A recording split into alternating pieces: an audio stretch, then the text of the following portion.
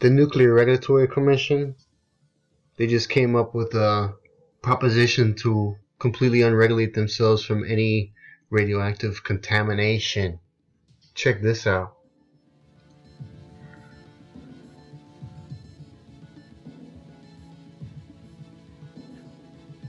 The linear no threshold model and standards for protection against radiation.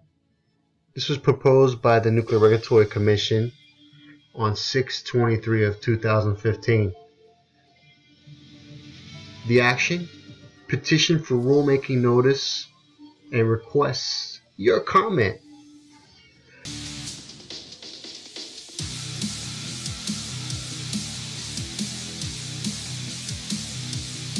That's right. When you don't want to impose any limits, don't make any, right?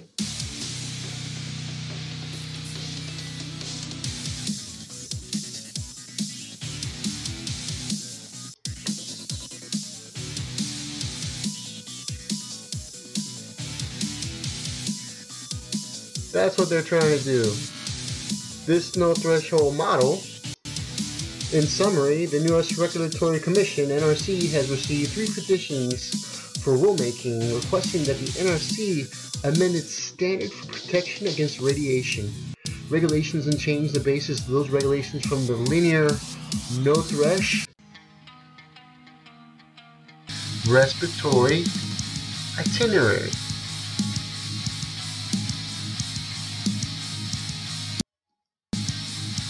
There is no safe dose.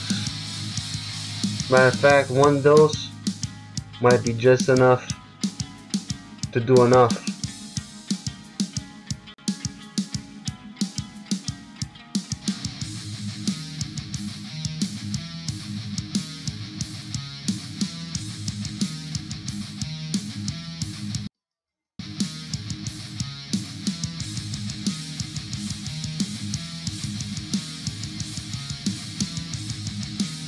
The petitions were submitted by Carol S. Marcus, Mark L. Miller, and Mohan Doss. Get this. Gets much worse. This Dr. Doss that filled this petition on behalf of the scientists for accurate radiation information, these people are a joke. Listen to this. Their mission is to help prevent unnecessary radiation phobia related deaths and injuries associated with distrust of radio medical diagnostic therapies and from nuclear radiological emergencies through countering phobia promoting misinformation spread by alarmists via the news and other media including journal publications.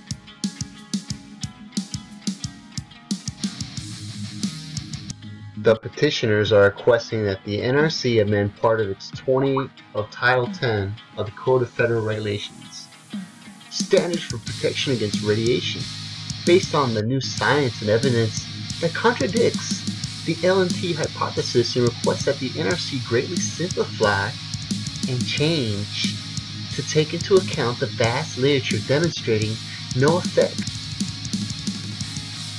the petitioner Dr. Carol Marcus requests that the NRC amend its regulations in CFR that are based on the LNT hypothesis. Carol states that this ultra-simplistic concept assumes that all radiation absorbed doses, no matter how small, have a finite probability of causing a fatal cancer. The petitioner, Carol, further indicates that the use of the LNT assumption enables regulators to feel justified so Carol says this burden for the regulators is this creating this ever increasing workload for themselves and their licenses. Oh gee, they're just too busy over there protecting people. The, it's too much work for them.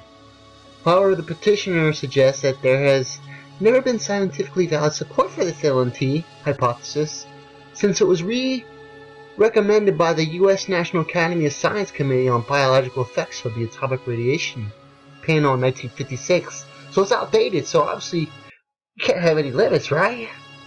And the cost of complying with these LNT based regulations are enormous, right? We can't protect our medical personnel and our patients, right? Low radiation won't hurt them, right?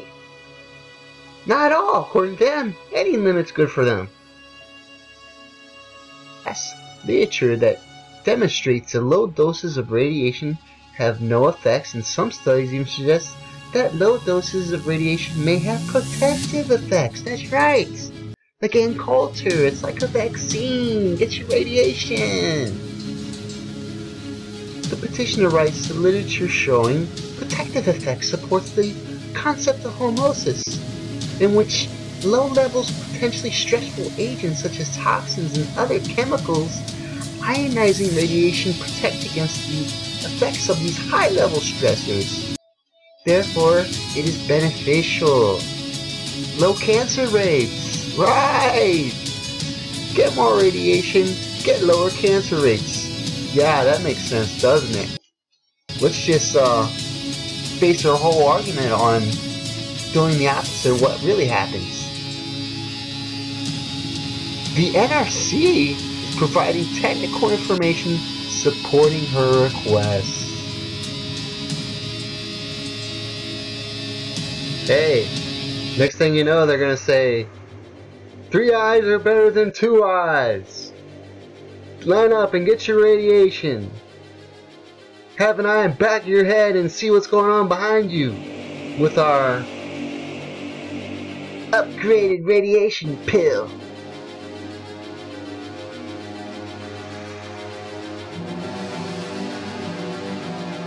Stop lying to us, NRC. Stop lying to us. Regulatory Commission. You're not regulating crap.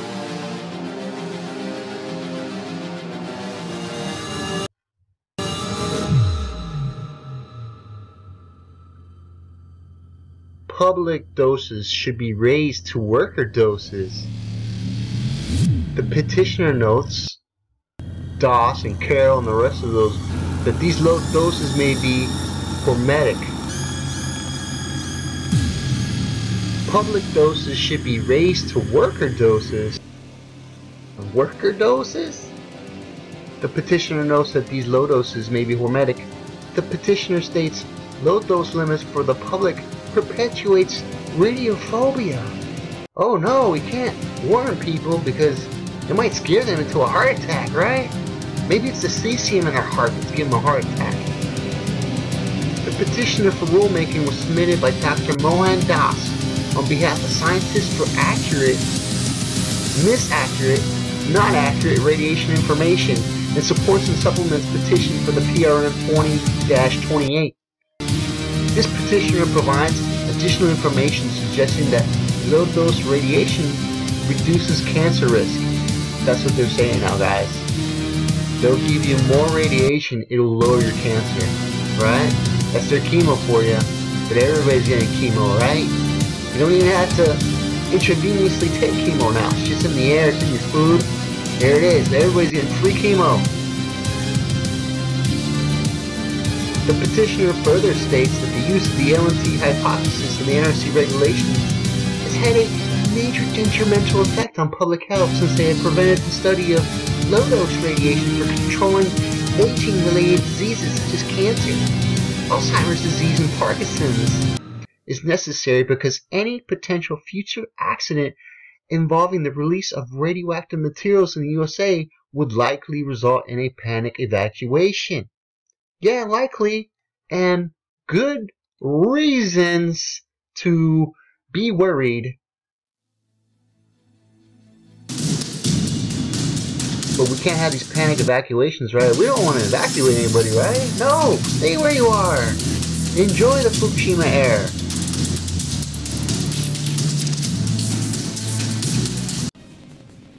Go ahead and write to them, call them.